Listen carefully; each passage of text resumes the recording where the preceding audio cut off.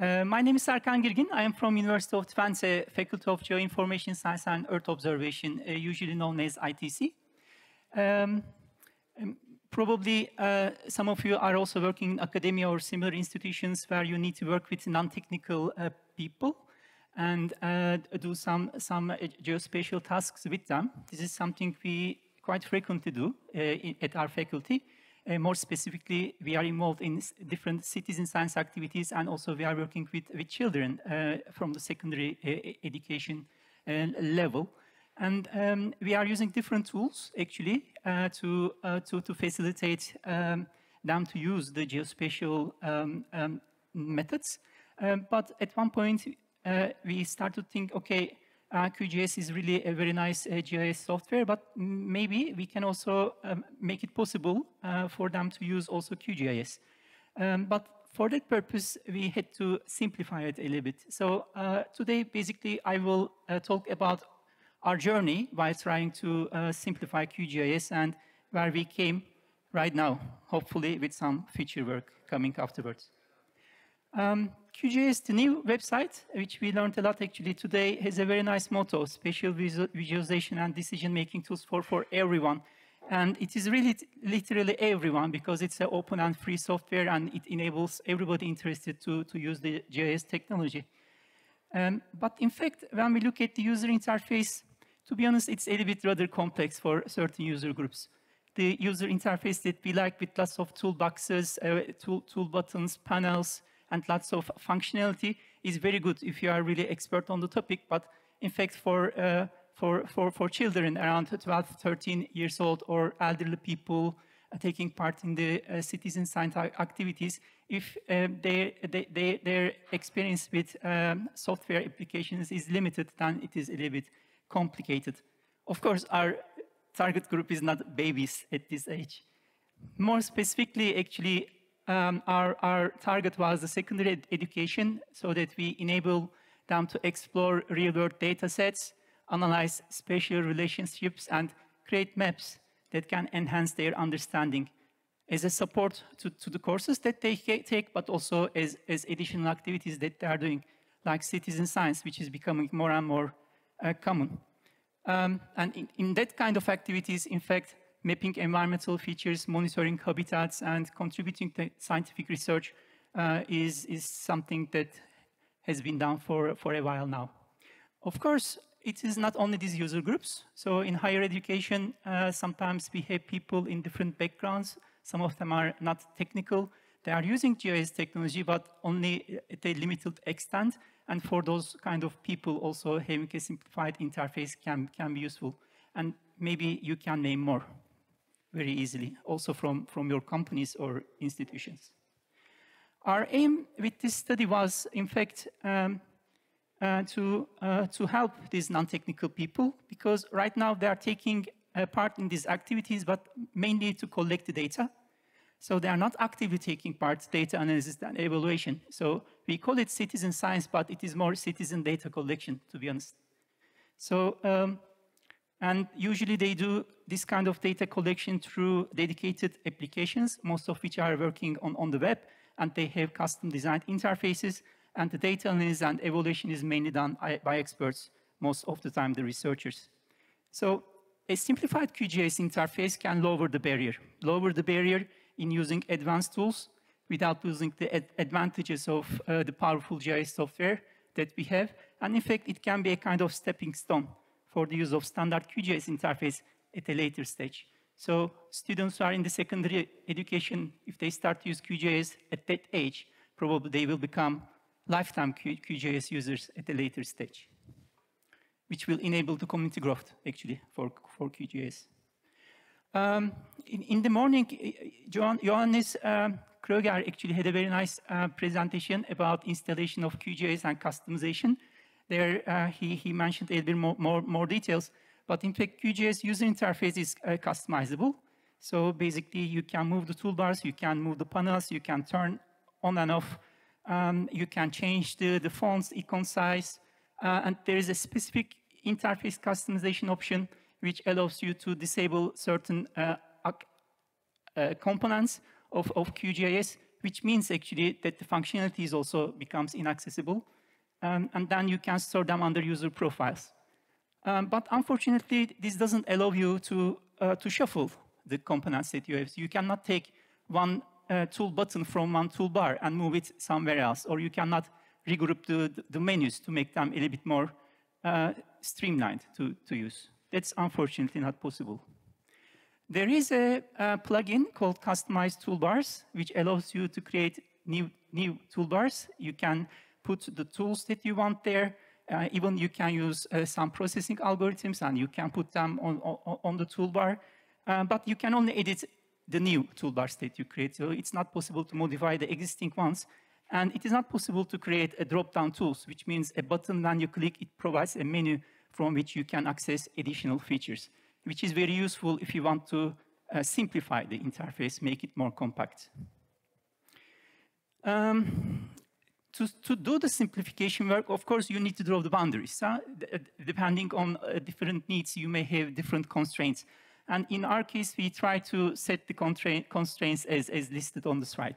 So basically, based on our target groups, we said they will be using local files or connect to remote services through, through, web, through remote data stores through uh, web services, but no database access. They will deal with mainly 2D vector and raster data, so uh, no uh, 3D uh, data or no time series.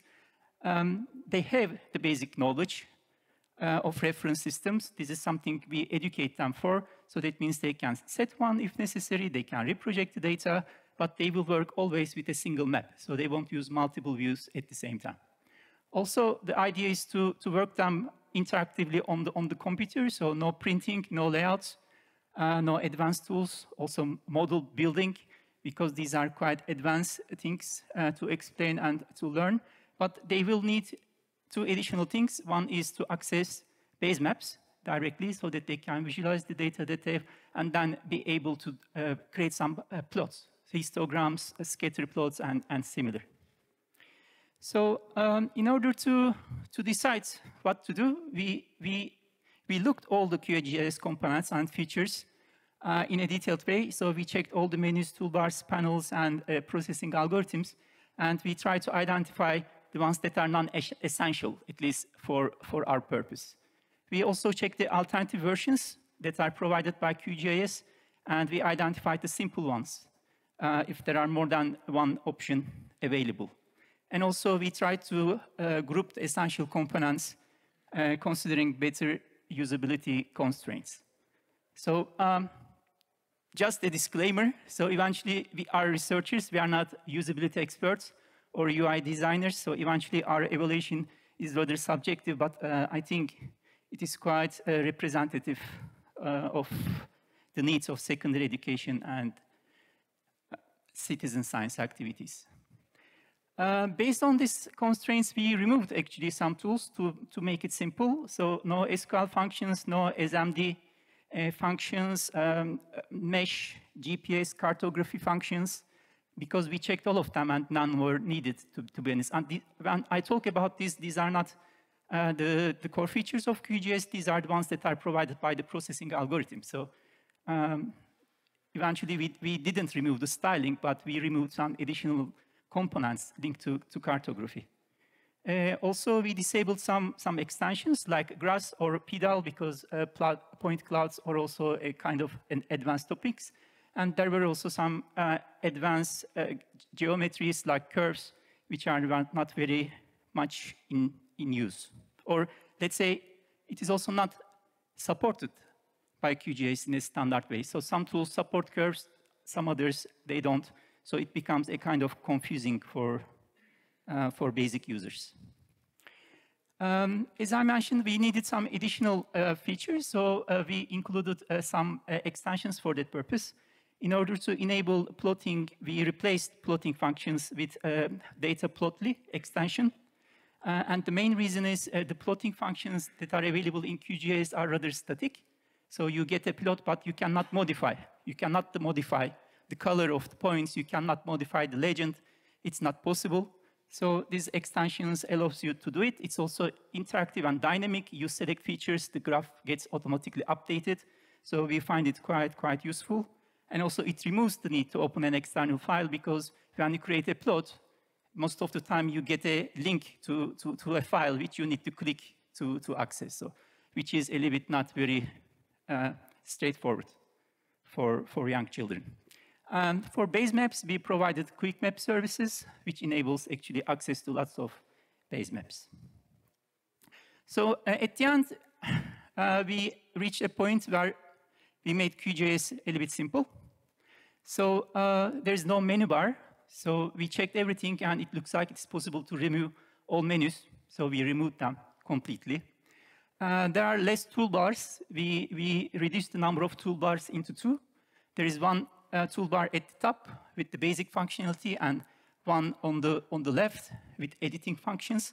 So they are also uh, uh, grouped based on, on the functionality. There are less panels, so most of the panels are, are, are removed. Uh, and in fact, we fixed the panels and toolbars. So normally you can, you can move them, you can drag and drop somewhere else, but basically sometimes it's really difficult to tell uh, children um, click the sidebar on the, on the left, and then sometimes you get the answer, but I don't see a panel on the left because they played it and it's somewhere else. So uh, it is much more easy if we fix the things. So it really simplifies, and it makes the communication and, and partly education much more easy. So that's why we, we choose that, that way. We removed the processing toolbox, so there is also no processing toolbox.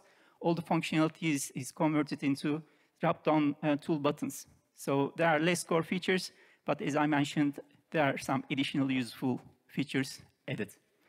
Uh, it will be available on this GitHub repository. My hope was to make it available right now, but uh, unfortunately, it was a kind of last-minute uh, development effort, so it will be available in, in the coming hours or, or days, so, but surely before the end of the week. Let me very uh, quickly show you uh, how it looks like. Uh, so this is the simplified version of, of QGIS. Uh, as I mentioned, there are two toolbars. Uh, we grouped um, data uh, adding functionality or new layer uh, creation. We converted into drop-down boxes so that they, they don't occupy too much space. Uh, we moved these adding base maps just, just next to them so that anything that is linked to layers are close to each other we grouped the zooming functionality and panning functionality. We converted them into drop-down boxes, which really also saved a lot of, a lot of space. Uh, so the, the, drawing part uh, is a sidebar. Uh, it is really nice because you can, you can modify many parameters, and there are also more options available. The good thing is the graph is created uh, on spot. So basically, if you choose the uh, the layer and, and the fields. And if you click the create uh, plot button, uh, then the plot is, is there, it's visible, it's, it's dynamic, so it's really uh, quite easy to use. Uh, all the functionality of the toolboxes are moved to, to buttons, which normally suppose to work I'm really sorry for this. Normally there is a drop down. Uh, and, and, under the drop down, basically we put all the, all the functionality. So a buffer, uh, clip, clipping, uh, uh, raster related operations, uh, filling no data values, etc. All this functionality is in fact under a single, single menu, which is very easy to use. Um, and once you start editing, then basically you, you can also uh, use the left menu to the to do the editing operations. Um, basically, this is how it works. So uh, it, I think it is really easy to, to explain and partly uh, easy to, to use as well. So uh, I will be here also tomorrow. I will be happy to show you also in detail without these time, time constraints. So now back to the presentation. So as I mentioned, um, while doing this work, actually, we had also some lessons learned, and um, maybe they are also equally important as providing a simplified user interface. So that's why I want to very briefly tell also some points, some observations that we had regarding usability and user friendliness.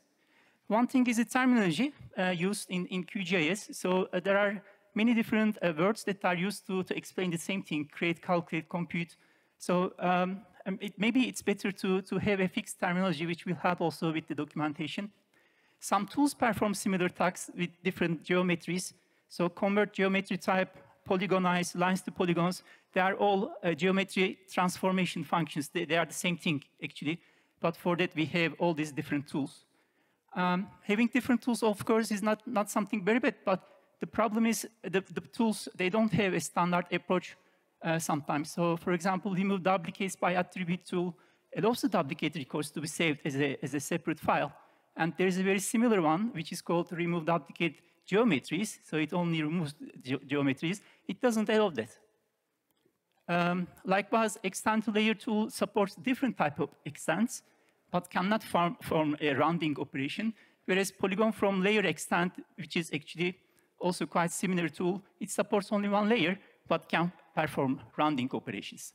So uh, maybe a streamlined approach could be, could be really useful. And um, something which also brings a little bit uh, fuzziness is, is, is, the tools that are named as, as, as, as, the same or very similar, like fill no data.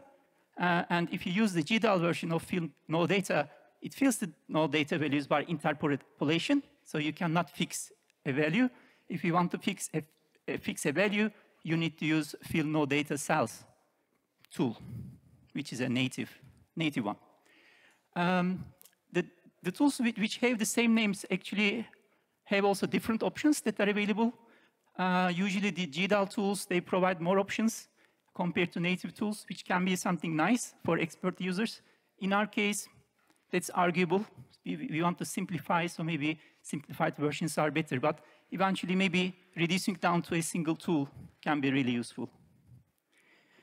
Some tools are designed mainly to be used by model builder. Uh, th this is very clear because uh, there is a, a, tool called drop fields, which normally I think you don't use by itself, except you, you, you make it part of a, of a model that you have because the same functionality can be easily done by using the attributes table.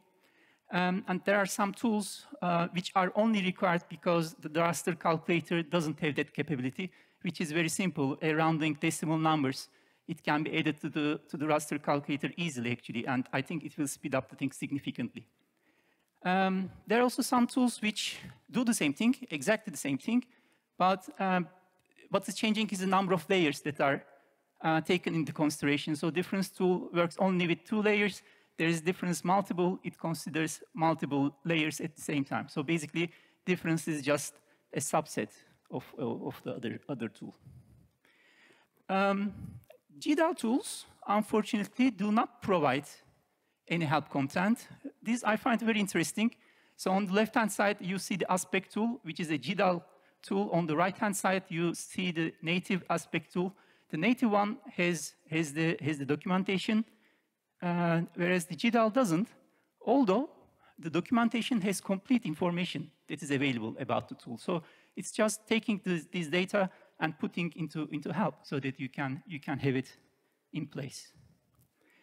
And similarly, in some uh, cases, the native tools, they, they also don't provide um, detailed information. It's only one sentence, although there is a lot of information available for each parameters in the, in the documentation. So this seems to be maybe not very much important, but in fact, I think if we try to help people to use QGIS, this becomes really, really something important.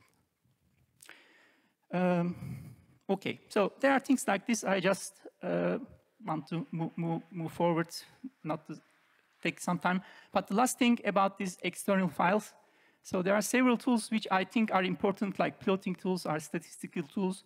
We, we, we would be very happy to use the existing tools, but uh, just providing a link to external file where there is no guarantee that the user can access the file because it really depends on the settings of your, your machine. I think it's not very user-friendly way of providing access to, to the outputs. So eventually, um, I think having a critical look at the existing user interface elements and streamlining a refined and standardized user experience might be really beneficial for QGIS. Uh, and this will definitely facilitate initiatives like simplification that we do. But probably it will be also useful for everyone. in the community. So we have some feature work. So one is installation, so find an easy way so that the students, they don't need to install QGIS and our uh, extension separately. So this is something we are working on. Simplification of processing tool dialogues is also uh, another, another thing that we are, we are trying to do. So this, these dialogues are very nice, but they have lots of additional tools that are provided. Sometimes they function, sometimes they don't. So we aim to remove all of them so that everything becomes much more simplified. And finally, to provide a little bit more help content. So this is basically what we did. So um, if you have just two minutes, uh, I will be very happy if you can scan the Mentimeter. And uh, there are two questions. Basically, the first one is, um, what other features of QGIS do you think can be simplified? Because these are the ones that we found, but maybe you are aware, or maybe you are part of that, such an initiative.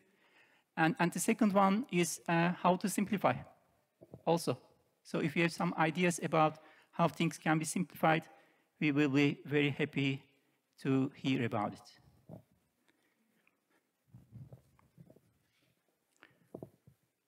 Okay, thank you for the presentation.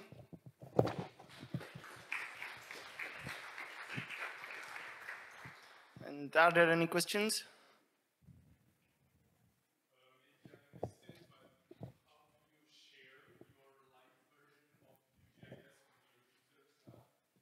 Well, there is this GitHub repository, so the code will be there, and then it will be possible to install it directly from there.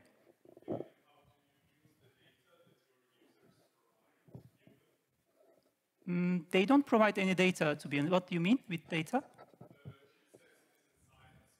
Yes. No, no, no, no. It's, it's just the standard QGIS that you have it locally installed. We only simplify the interface, so we don't collect any data. So it is just, uh, just the QGIS as we know. We only modify the, how, it, uh, how it looks like, so that's it.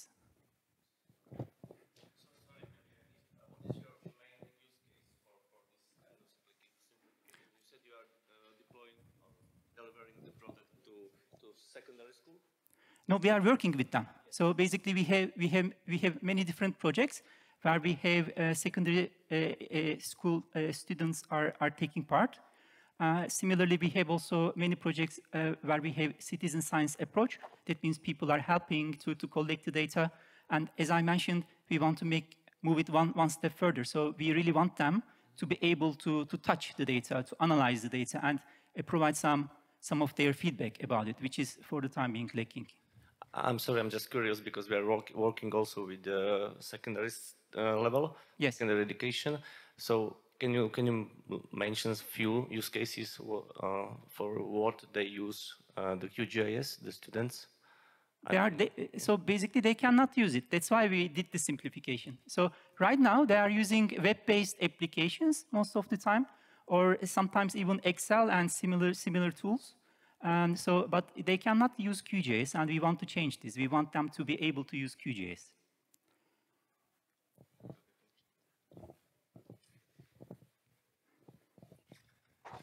Thank you. It was very interesting for me as well. Uh, I think it's also uh, usable internally in a company, for example. Uh, in our example, I, we have like about uh, 30 users in our company uh, dealing with QGIS, but on different levels, of course. And I could imagine um, such a simplified version of QGIS for, I don't know, 60% of the users, let's say. Yes. And my question would be, um, are you also providing services to kind of like um, tailor um, this surface to to uh, certain needs, uh, like the to the company profile, because it's this is very good. What you just showed, it's very general. Yes. And we are specializing in forestry, agriculture, for yes. example. To yeah, I can imagine. Mm. So eventually, um, yeah, this is an open open source initiative. So we, we want to also get involved with the community. So um, if you open issue request on the re repository and explain your use case, we will be happy to help you and probably other people can. So um, this, this uh, experiment, I will call also was a kind of nice learning experience for us. So now we have a better understanding also how the QGIS user interface works, how the Qt works. We are not experts, and I, I'm pretty sure here we have expert developers for the things for which we spent two days. Maybe they can solve it in two, two minutes. So I really have high hopes that the community will take um, and, and help us to, to build it further.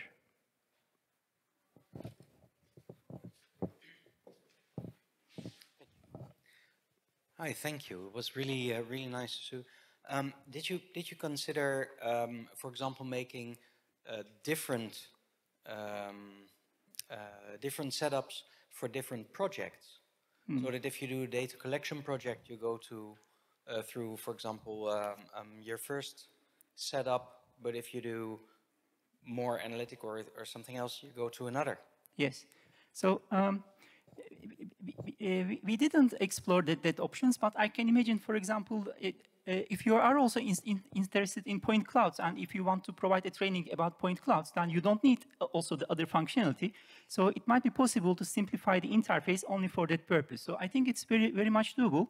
That's why actually uh, I, I, mentioned, um, I think it could be really nice if, if we all together uh, think about a kind of st streamlined approach about uh, QGIS user interface and the functionality that we provide, maybe some basic um, uh, updates or improvements about the, the, uh, the, functions that are available for customization may enable everybody to customize something like this, which is unfortunately right now not possible, even if you use extensions, because um, they, they, they don't provide the same functions. So you really need to do some, some coding. But we can change this. Um, one thing also I want to uh, highlight uh, is the help, because one difficulty that we have right now, so because we have a simplified interface, providing link to actual help pages uh, creates confusion because they, they, are complete help, so they provide everything. So one a kind of uh, research problem that we have right now is how we can take the existing documentation and simplify it in such a way that we can do it in automated manner uh, to match with the features that we provide so that providing help we really bring a tailored help system. So if you are familiar with, with um, providing help uh, for, for QGIS and, and basically the infra infrastructure that's available for it, we will be very happy to talk with you and uh, learn about your experience so that we can, we can find a way to do it. Okay, thanks a lot. Thank you.